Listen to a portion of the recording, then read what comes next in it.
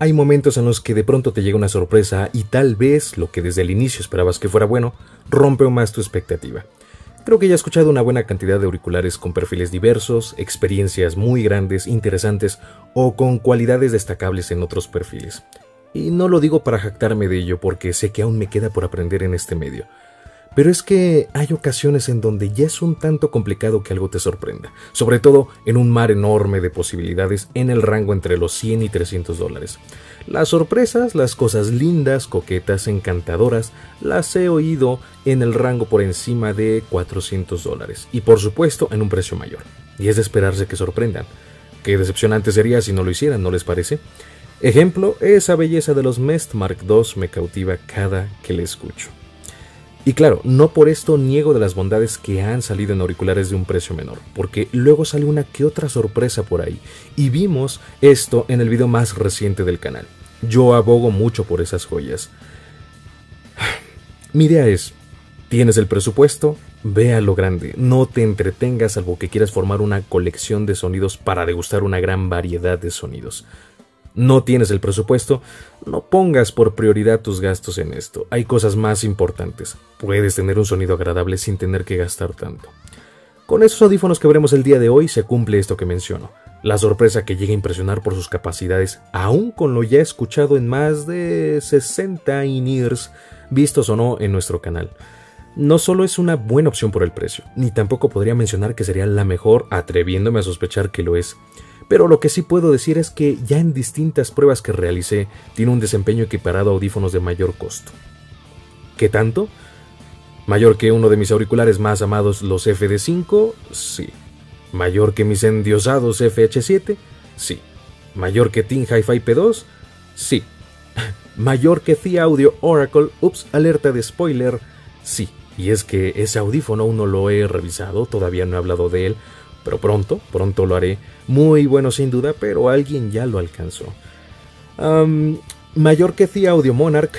Bueno, si el Oracle lo pongo por encima de este, sí. ¿Creerán que pude creer esto al momento de hacer comparativas? No, ni yo lo creía, pero sucedió. ¿Perfecto? No. Dista de serlo, y es de lo que hablaremos el día de hoy, pero no deja de mostrar cualidades bastante llamativas. Otro pensamiento que añado a los iniciales y del que algunos de ustedes ya han escuchado en alguno de mis videos no te dejes guiar por el hype o por la emoción del que está hablando en la pantalla. Cuida tu dinero porque este mundo de audífonos sí es enorme, bonito, grandioso, variado, maravilloso, pero es un entretenimiento desechable a fin de cuentas. Muy probablemente me escuches muy emocionado hablar de este auricular en este video, y es que tiene características sumamente destacables que, carajo, quiero compartir con ustedes. Pero toma en cuenta cada aspecto que hablaré el día de hoy para definir si pueden ser de tu agrado. Puedo intuir que a una enorme mayoría les agradará el perfil de este auricular, pero cada uno de nosotros tiene gustos diferentes, y sé que puede haber varios con preferencias muy específicas, así que atento a cada aspecto que mencionaré.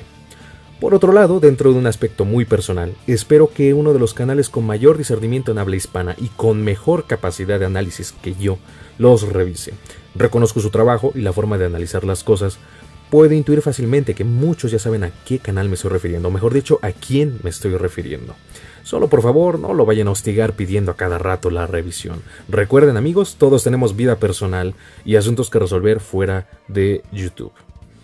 Esos comentarios son la antesala a la charla que tendremos el día de hoy con los 7 Hz Timeless.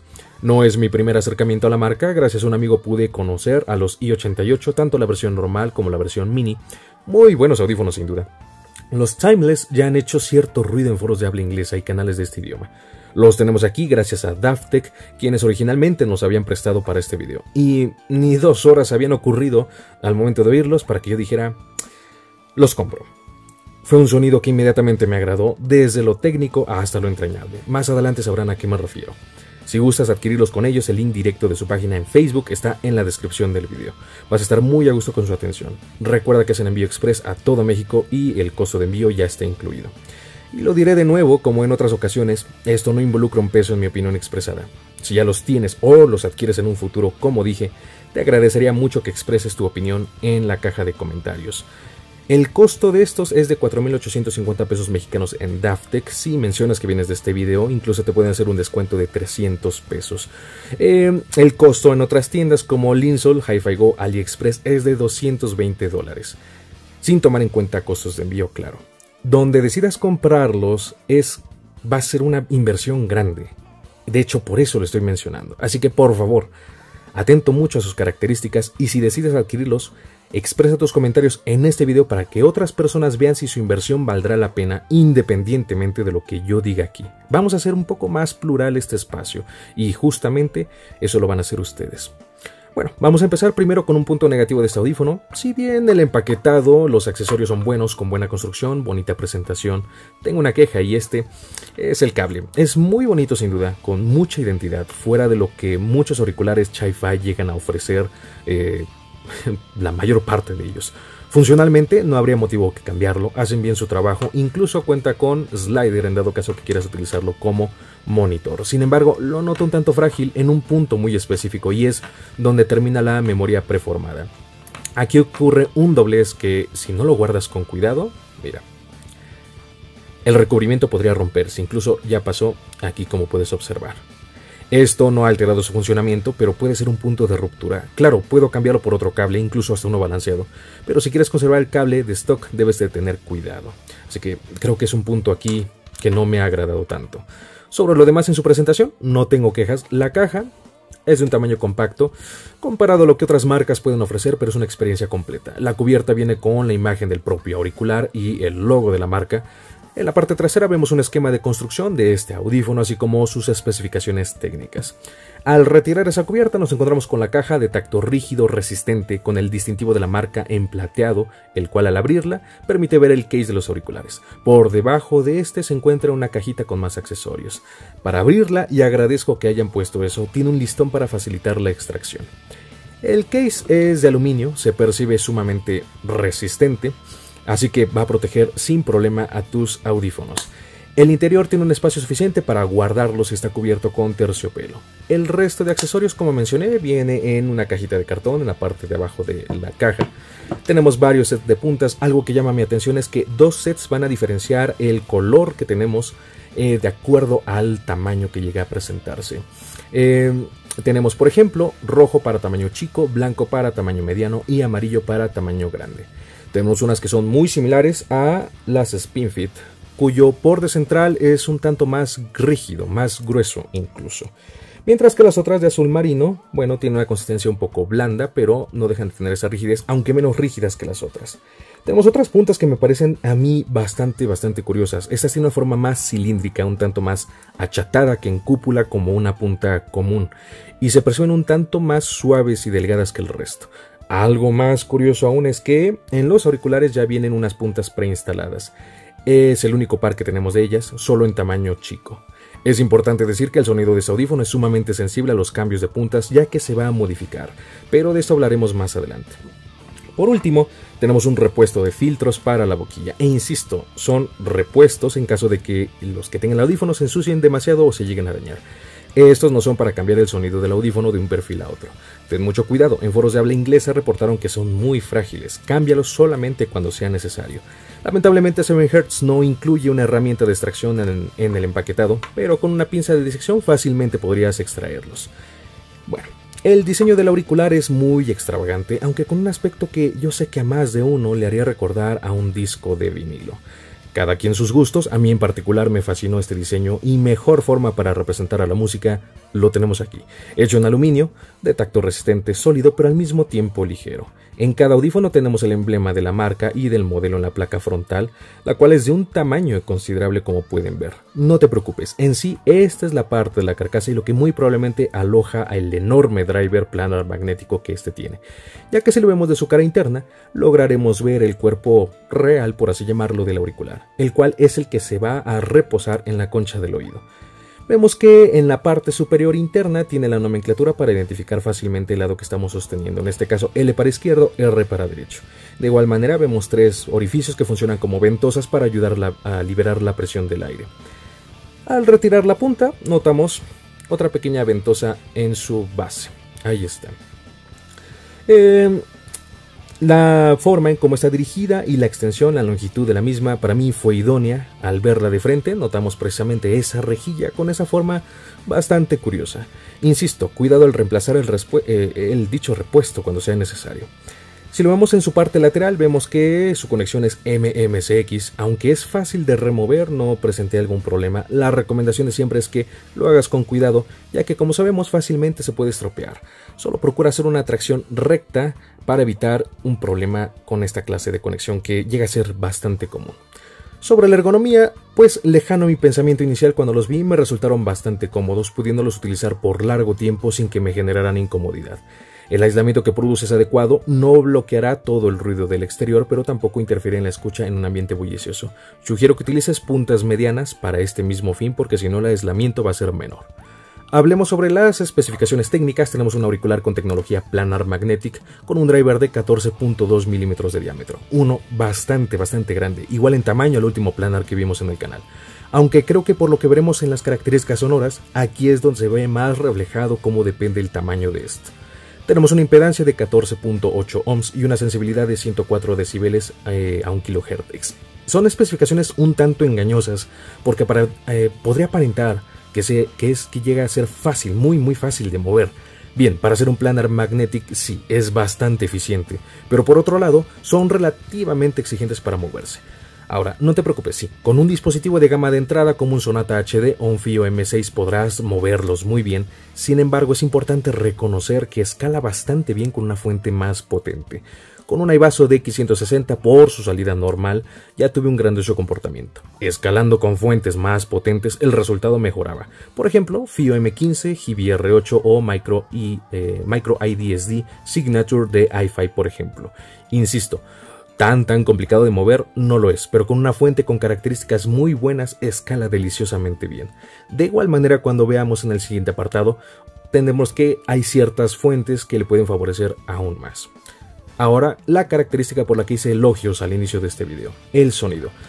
Pudiendo elegir las características más destacadas para definir este auricular serían transparencia, precisión y cristalinidad. La claridad en el sonido y el refinamiento que tiene es muy notoria. Nos encontramos con un auricular con una firma en U, una U bastante elongada porque si bien se nota ese realce en bajos y agudos, los medios se perciben un nivel casi similar entre estas frecuencias. Ojo con esto, tal vez la palabra realce en bajos y altos sería un tanto complicada de enunciar ya que como mencioné, la respuesta de las frecuencias se percibe muy a la par entre sí, pudiendo parecer un sonido erróneamente llamado plano. Si prestas suficiente atención al escucharlo, notarás que existe este aspecto y no es plano como tal. Detalle importante, sí requiere de burning o quemado, por lo menos 100 horas para que se adquiera un cuerpo mejor definido. La primera escucha resulta buena, sin duda, el quemado hace modificaciones para bien sin perder la esencia original.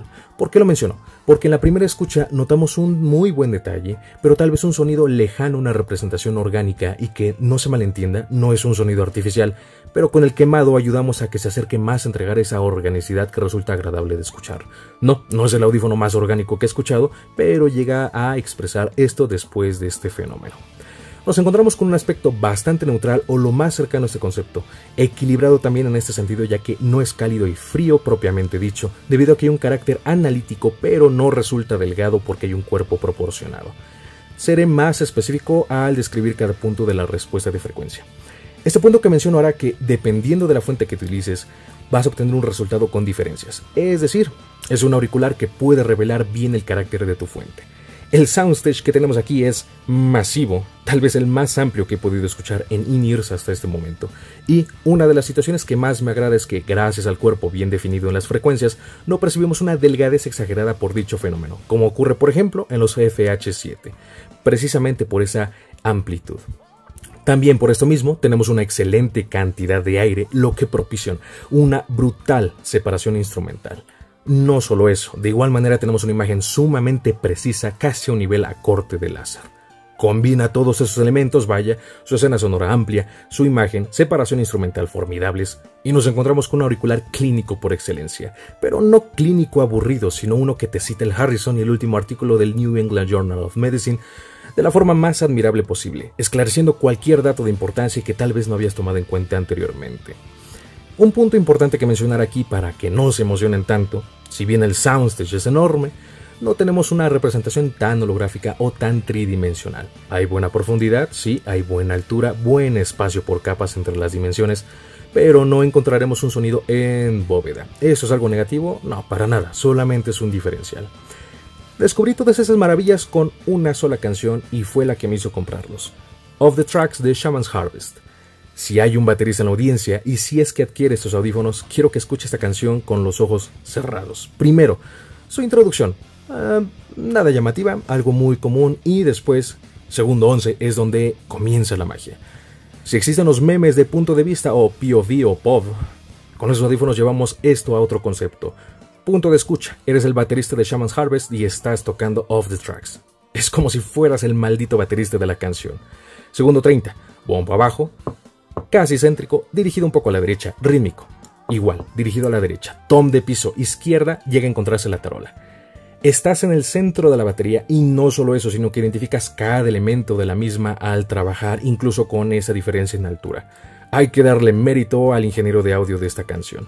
De igual manera notamos una guitarra acompañando la eh, una gran parte de la canción, especialmente a partir de la segunda estrofa, la cual escuchamos en nuestro lado derecho de la escena sonora, pero de una forma muy, muy lejana. ¿Quieres probar imagen y soundstage? Esa canción es perfecta. De igual manera, esta combinación de elementos hace que este auricular sea una muy buena opción para poder escuchar música instrumental o soundtracks de películas, desde Enchanted Rocks de Andrés Waldweider hasta Apex Witch de John Baptiste, de el soundtrack de la película The Soul hasta Portals de Alan Silvestri de Avengers Endgame. Sobre la primera canción que menciono es una muy buena para evaluar imagen, para evaluar soundstage de forma muy alucinante. Incluso al inicio llegan a ser rocas que rozan entre sí. Es algo bastante curioso. Pero también el bajo se evalúa aquí y es a donde vamos. Describiendo cada punto de la respuesta de frecuencia y comenzando precisamente por estas, las graves, las frecuencias graves, tenemos aquí una situación muy similar a lo que vimos en los últimos dos planar magnetics del que hablé en el canal, pero llevado de una forma particularmente y esta me ha encantado. La pegada que tenemos no es puntual, como ocurre por ejemplo en un balance armature o redondeada como en un driver dinámico. No, es como si el golpe lo diéramos con la palma de la mano pero de forma rígida. Ese bajo por lo que veo es muy característico en in Planar Magnetic, pero aquí está en otro nivel precisamente por la distribución del golpe que se percibe muy extendida. Normalmente en ciertos auriculares, sobre todo de drivers dinámicos, salvo unas cuantas excepciones, Notamos un mayor énfasis en el área del mid bass, a veces sutil como por ejemplo en FD5, a veces más sutil como en Dunusen, donde incluso la pegada se recibe más a nivel del upper bass. En los timeless también ocurre dicho énfasis en estas partes del bajo, pero está la diseminación de la energía a través de todo el driver que resulta más sutil aún y sobre todo un bajo con menor ganancia. Esto no quiere decir que no tenga bajo, lo tiene, pero esto le confiere un control tremendo en estas frecuencias, mejor distribución de la energía en el golpe y una profundidad notoria, lo que ayuda a que el bajo no origine sangrado los medios, pero mejor aún que entregue una cantidad de textura exquisita. Exquisita para dos escenarios principales en el bajo. Uno, cuando el golpe es fuerte y sostenido, y dos, cuando el golpe es rápido y enérgico. Para comprender mejor esto, un ejemplo Stillwater de Hans Houses dos tiempos. El primero es en el intro, bombo y tom 1 de la batería tienen golpes fuertes y sostenidos. Esto es disfrutable en un driver dinámico, pero en los timeless, además de fascinarme esa intro, puedo tener la capacidad de analizar al bajo por la cantidad de información que llega a entregar. Ahora, segundo tiempo, minuto 2.39, los mismos elementos pero ahora actuando rápidos, con gran energía. Nuevamente el adecuado control te permite analizar estos breves puntos. Entonces, el bajo es muy texturizado, con buena profundidad, buen control. Si esperas un cañón de bajos, aquí no lo vas a tener. Lo defino así, calidad sobre cantidad. Tal vez a un basshead no le agradará, pero me atrevo a decir que este podría ser un auricular que dome al basshead diciéndole, a ver, calmado, Empecemos a refinar tus gustos porque así es como debe extenderse el bajo. Con los subgraves ocurre una situación muy similar. El retumbe o el rumbling que tenemos aquí se nota aunque de forma más tenue, ni masivo ni insípido. El actor es adecuado, adaptable a la canción que estés escuchando. Los Cows de Billie Eilish nos demuestra esto. Y creo que Billie será una constante cuando menciona los subbajos pero bueno, para probar dichas frecuencias, su música es bastante buena, al igual que incluso también la, la voz femenina, si queremos evaluarla. Pero bueno, no nos adelantemos. El subbajo presente aquí deja una muy buena sensación, una breve disgustación que agrada. No te empalaga, para ello voltea a ver otros auriculares con mayor subgrave. Ahora, sobre las frecuencias medias, resalta enormemente la claridad que estas llegan a tener, con una cantidad de aire destacable y una separación instrumental muy buena, y sobre todo también una separación entre los elementos musicales y los vocales. También llegamos a nivel de micro detalle muy bueno que no se percibe artificial como en el detalle que podríamos eh, encontrar o obtener en el FH7. Regresamos a la primera canción, Of the Tracks. Esta la mencioné al inicio de este video porque obviamente el trabajo que tenemos aquí con las guitarras se representa mejor en el rango medio. La textura que expresan las cuerdas al ser tocadas es muy adecuada, bastante buena. Tal vez es un pleonasmo, pero al referirme aquí al micro detalle, no solo me estoy refiriendo a que te muestra detalles que otros audífonos no lo hacen o es muy difícil que lo hagan, sino también en lo fino que lo representa, el detalle fino. Por ello mencioné que tal vez esto podría ser un pleonasmo. Born to Play de John Baptiste, igual del soundtrack de Soul.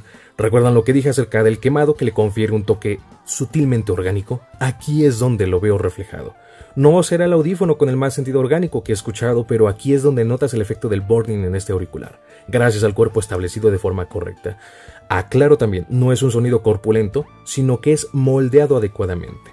La transición de los bajos a los medios está muy bien realizada, lo que le favorece que se llegue a existir tanto en contrabajos, en chelos, una gran cantidad de detalle y textura, pero sobre todo naturalidad. Y esto lo que hace que destaque en los tríbridos que mencioné hace un momento resultan muy disfrutables las obras de cuartetos de cuerdas. Ahora, registros graves y altos alojados en el rango medio tienen una adecuada distribución y es algo que agradezco mucho. Por un lado, porque ambos tipos de voces tienen una adecuada representación y por otro, registros muy altos en voces o sonidos que incidan un volumen alto entre los 4 y 6 kHz no producirán sibilancias o un sonido estridente. Así que está seguro de no tener un aspecto gritón. Eso es algo que realmente se aprecia. Las dos primeras canciones que hablé nos ayudan también a esto. La primera, obviamente, con las guitarras que también alcanzan hasta este punto, y la segunda con la voz del vocalista que alcanza un registro muy elevado en el clímax en el último coro. Hay un último punto a tratar de los medios, y es una de las cosas que hace que ese auricular pues no sea perfecto. Hay buen detalle, sí, hay una buena expresión, la claridad es excelsa, pero notamos que existe un cuerpo un tanto distinto respecto a graves y agudos, lo que provoca que no tengamos un perfil tal vez completamente coherente. Solamente en este aspecto, porque en timbre sí resulta coherente. ¿Demasiada diferencia? No, solo si te pones muy muy quisquilloso vas a notar esta mínima disparidad. Situación que puede resolverse con puntas de espuma de memoria. Incluso si quieres un cuerpo ligeramente más robusto en bajos, además de medios, este aditamento, las, espumas eh, las puntas de espuma de memoria, pueden ayudar. Claramente este audífono no incluye puntas de este material, no te preocupes, con las que noté un buen comportamiento similar a este hecho fueron con las puntas azul marino. Otras puntas de mi colección que me ayudaron bastante para este fin fueron las Final Audio tipo Edge. Ahora, sobre los agudos tenemos un comportamiento también muy destacable. La extensión es bastante notoria. La gráfica de respuesta de frecuencia nos muestra un aspecto bastante fiel a lo que se escucha y como era de esperarse, tenemos un sonido muy detallado. Este audífono entrega una gran cantidad de información en el rango alto, pero lo mejor de todo es que lo hace con una limpieza excepcional, al entregar agudos cristalinos y muy pulcros. La gráfica señala un pico a nivel de 8 kHz, un punto llamativo que afortunadamente en el momento de la escucha, aún con ese énfasis, no genera un sonido estridente. Repito, ayuda bastante la claridad que puede ofrecer el auricular y justo es un enorme diferencial de las auriculares que estoy poniendo por debajo del Timeless. Extensión y claridad. Ahora, vamos a detalles pequeños pero numerosos en agudos, sobre todo con otros instrumentos, bastantes instrumentos de hecho estableciéndose en el resto del espectro sonoro. El Rey Azul de Emanuel en su versión acústica en vivo, después del segundo coro hay un ostinato con el bombo y hi-hat de la batería. El detalle no solo está en el hi-hat, sino que a la par hay lo que parece una campana que va acompañando a esta figura que estoy mencionando, a este ostinato es algo que estoy comentando y que llega a resultar impresionante para mí, muy complejo de escuchar, es que si el audífono no llega a ser tan resolutivo en agudos, sobre todo dentro de este punto, pues vaya, los demás detalles llegan a opacarlo. Apenas en ciertos audífonos se logra identificar el hi-hat que menciono, menos aún las campanas que lo acompañan, lo cual me resultó bastante llamativo. Ahora, vamos con detalles grandes en agudos. Los locos de Café Quijano, desde su introducción identificamos que podemos encontrar en estas frecuencias una adecuada respuesta. Las trompetas suenan vívidas con energía, bastante enfáticas pero sin producir eh, algún artefacto que llegue a lastimar en el oído con los timeless. Y el punto principal, repito, claridad y naturalidad. El quemado también ayuda a que exista un refinamiento en estas frecuencias, así que sé paciente para sacar el verdadero potencial de este auricular. Son agudos enfáticos, sí, pero están muy bien trabajados en este aspecto. Bien, para terminar con su sonido mencioné que ciertas fuentes le favorecen, aunque en lo particular me agradó mucho lo que hace una fuente lineal, muy muy lineal como mi Hibi R8. Sin embargo, si quieres un poco más de cuerpo, añade una fuente cálida. Se adaptará bastante bien a que te encuentres un equilibrio entre un perfil detallado pero con cuerpo que resulte aún más disfrutable. Ahora, recuerda lo que mencioné sobre combinar varios sets de puntas para modificar el perfil más a tu gusto. Bien, ya estoy haciendo muy largo este video, así que vamos a las comparativas. Respecto a PNB-PP, no, estamos en niveles bastante diferentes. Eso no quita que los PNB sean buenos auriculares, sobre todo para quien guste de un sonido con más fuerza, energía y corpulencia, pero sacrificando tal vez claridad. El soundstage de los Timeless es considerablemente mayor, el timbre también está mejor afinado y sobre todo la transición de los bajos a medios está mejor realizada. De igual manera, en los Timeless los agudos se extienden todavía más. Recuerda, los PNB van más en un sentido bastante cálido. Corvus, Corvus, entonces, ¿me deshago de los PNB PP para adquirir estos? No, amigo, disfruta lo que ya tienes, degústalo. Hay bastantes auriculares mejores o peores que él y eso no quita las cualidades que tiene. Tendrás una mejora enorme con los Timeless, sin duda, pero recuerda lo que mencioné al inicio de este video. Termina de degustar lo que ya has adquirido. Sobre otro Planar Magnetic, y aquí la pelea llega a ser considerablemente reñida, Team Hi-Fi P2. En la introducción mencioné algo, pero te explico por qué considero mejores a los Timeless. Son varios puntos. Si bien Team Hi-Fi P2 muestra más detalle que los Timeless, el punto no es que muestre más detalle, sino cómo lo hace. He admirado al Team P2 por la razón que es un audífono muy clínico si es correctamente amplificado. Es detalle y detalle en sobremanera. La cuestión es que no lo hace de manera tan limpia. Si ese audífono te muestra imperfecciones, también lo hará en los errores de la grabación y sobre todo puede aportar mayor interferencia en la escucha. En su video mencioné que el detalle era cristalino, y sí, pero es que siempre puedes encontrar un audífono más limpio todavía, con más detalle y con mejor control. Aquí en este caso hay una pizca menor de detalle, pero más limpio, y es lo que aprecio enormemente de los Timeless. El Team P2 mostraba un fenómeno similar al que comento con los Timeless al presentar sus frecuencias de una forma casi igualitaria en la escucha, pero en forma de altiplanicie, así lo describí. Aquí en los Timeless hay un menor cuerpo, pero consideraría que aún tiene ese carácter porque no es plano si no hay definición en sus frecuencias. La extensión de los agudos es mayor en los Team P2 y con mayor ganancia, mientras que en los Timeless es ligeramente menor. Punto a favor, porque resultan menos intrusivos. Recordarán que los Team P2 no los recomendaría a alguien que llegue a ser muy sensible a los agudos, y es precisamente por esta misma razón. El punto principal, los Timeless son eficientes para hacer planar magnetic, mucho más que los Team P2, así que no te preocupes en tener una fuente exageradamente potente para moverlos. Sí o sí tienes que amplificarlos, pero nada que abrume como los Team P2. Para concluir, muchos se preguntarán, si es tan bueno, ¿puede ser un endgame? Sí. Creo que es un auricular que puedes comprar y de ahí no preocuparte en mucho tiempo. O en ningún tiempo en adquirir un audífono para buscar una mayor calidad sonora.